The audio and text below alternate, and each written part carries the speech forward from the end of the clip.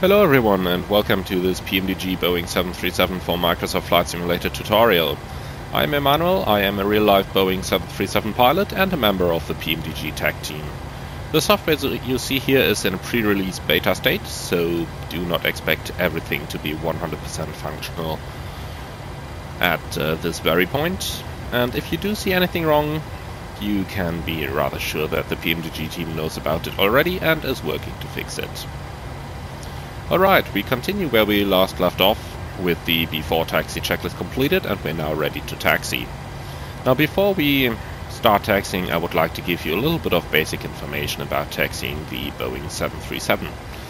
There are a couple speed limits in place which I'm going to tell you about here and that is on aprons don't exceed 15 knots in sharp turns, don't exceed 10 knots. And on straight taxiways, the limit is 30 knots. When you're backtracking a runway, you can go all the way to 50. And whenever you're moving on a contaminated surface, the limit is 5 knots. Also something about the steering technique for this airplane, you have to keep in mind, you're sitting several meters in front of the main wheels and you are even sitting in front of the nose wheel here. So if you want to steer the airplane and keep the center line of the taxiway in the middle between the two main gears, you need to overshoot a little bit with your nose wheel. Now the longer bodied airplane you're flying, the greater this overshoot has to be. So if you're flying a 737-900 for example, it will be a lot more than in a 737-600. Now with this set, let's actually start making our way towards the runway.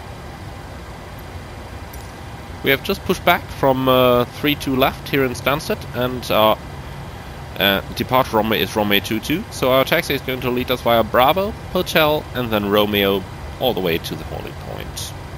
So that is basically straight ahead, then drawing the taxi over here to the right and then to the holding point of the runway. Once our taxi instruction is understood, we'll minimize the chart again to get uh, the best view possible Turn on the turn off and taxi lights, release your parking brake. And now some of you will know that in the fancy Airbus aircraft you'll have this nice takeoff config check. You do have the same in the 737, just move the thrust levers forward for a short while to about 70% N1. And if you don't hear any warning, then you are all good for takeoff. So we're going to do this now. Config.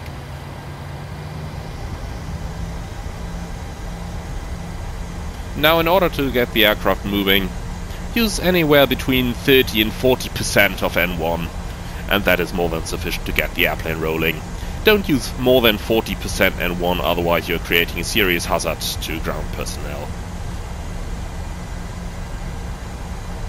Once you've accelerated to a good speed, just bring the thrust back to idle and the airplane will just very slowly decelerate, but it's mostly going to hold its speed. If we're going back to idle now, you'll see we're going at about 13 knots here.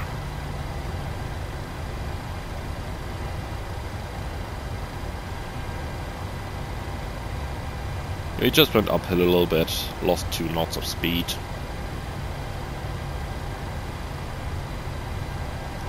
Steer it very gently while you're following these taxiways.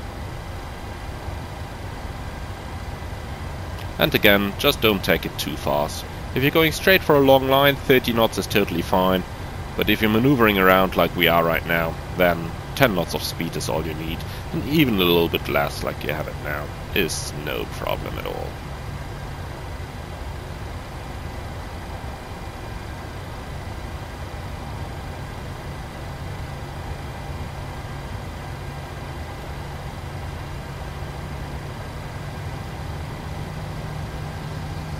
You see in all those turns we are losing a little bit of speed, so just bringing the thrust up a little bit, some 30% is going to give us that speed back. Now we're already reaching the holding point here. You can see how I'm oversteering the aircraft a little bit in order to keep the main gears properly on the center line.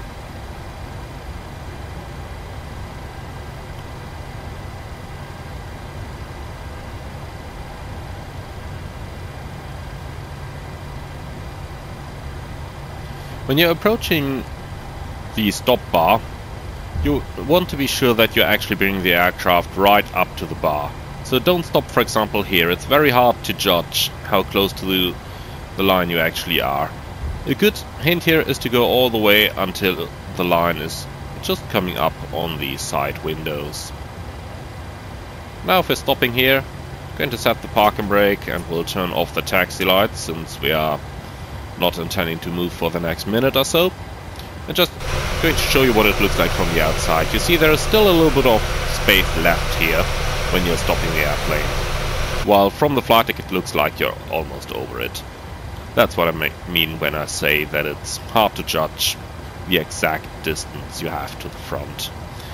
It is about seven and a half meters that you cannot see in front here when you are in a correct seating position. Now taxi here was fairly short. Normally you would start with the review of the takeoff briefing during the taxi if you have the time. Otherwise, if you don't have the time, like right now with that short taxi, just go to the holding point, set the parking brake, and then do the takeoff review here. Now the takeoff review is something we're going to do now, and I'll just go over it and you follow along. So it's going to be a left seat takeoff on runway 22, flaps 5, noise abatement departure procedure number 2. We're using the packs Auto, bleeds on, with the anti-ice off. Our takeoff speeds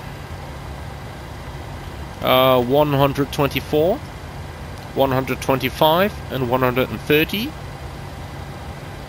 Our initial climb is altitude 4000 feet and we're going to contact departure control when advised by ATC. Our special engine outset is taking us straight ahead 20 miles, pick up the hold in uh, 3000 feet. The squawk is in and that's reviewed. Let's then do the B4 takeoff checklist and then we are ready for departure. Before takeoff checklist. Flaps. 5. 5. Green light. Stabilizer trim. 6.6 units. Set. Before takeoff checklist complete. Alright, that shall be it for this video. I'm looking forward to see you all on the next one when we will finally get flying.